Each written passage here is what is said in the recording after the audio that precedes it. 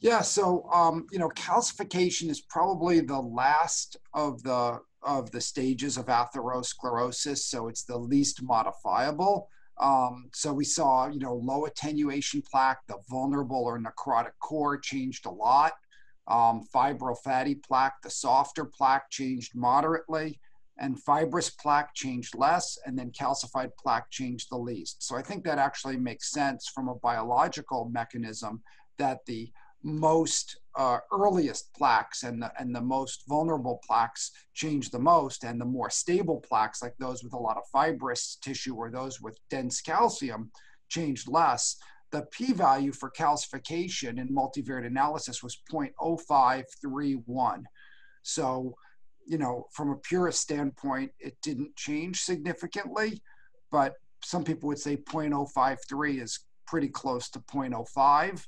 And kind of is close to statistical significance. But either way, I think it makes sense biologically that the, the more stable plaque changes less than the than the earlier softer plaques.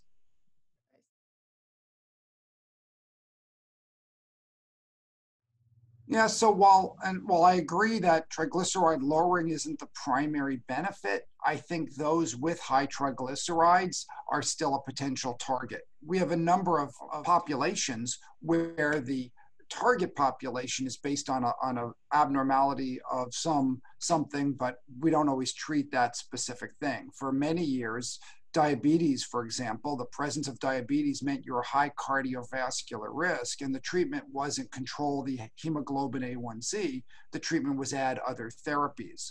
So I think I think we still should be using um, uh, icosapent ethyl largely in patients who have elevated triglycerides because that's where the benefit was shown to be the greatest. Um, and we have data now from uh, triglycerides of 135 and up and this group is still high risk. I want to emphasize that patients with elevated triglycerides, maybe because of metabolic syndrome and diabetes and other factors, patients with elevated triglycerides are high risk and they appear to benefit from icosapent ethyl.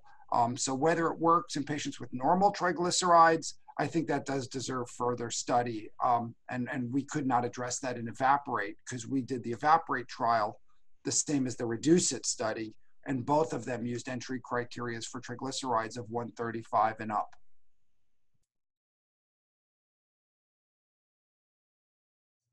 Well, I just wanted to point out that the use of cardiac CT now has become highly reproducible and with the reduction in radiation dose does allow us to do these type of trials where we can do serial studies and assess does drug A do better than drug B, or does drug A do better than placebo over time? And we've had some early uh, studies looking at statins with this serial CT angiography, and we've published on the testosterone that testosterone increases atherosclerosis plaque in a, in a placebo-controlled randomized trial. And now we've been able to show that icosapent ethyl reduces plaque. So I do think that it's a nice model. It's non-invasive, it's easy but I do think it's an important way to assess some of the benefits without having to do intravascular ultrasound and take patients to the cath lab twice um, with all of the associated risks. So I think the advances in, in imaging have made it made our assessment of atherosclerosis now non-invasive. And I think that's an important part of the, the message of EVAPORATE is that this is a, uh, a potential tool to look at a host of different therapies that we now have. And, and we're now doing a trial with GLP 1 receptor agonists um, um, uh, with semaglutide to see if that slows plaque progression, because that's also shown outcome benefit without a clear mechanism of action.